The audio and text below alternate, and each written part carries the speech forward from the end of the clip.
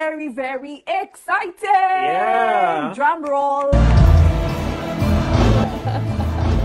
Awesome, and that right there is the GIC Dance Challenge. Yes, inspired by Minister Dunsin Oyekan from Nigeria. We've had so many people jumping onto this challenge uh, from individuals to universities across the world.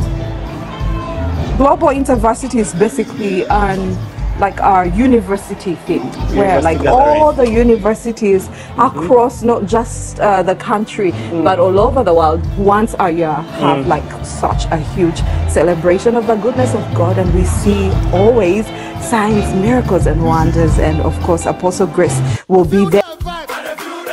Energy, energy, you feel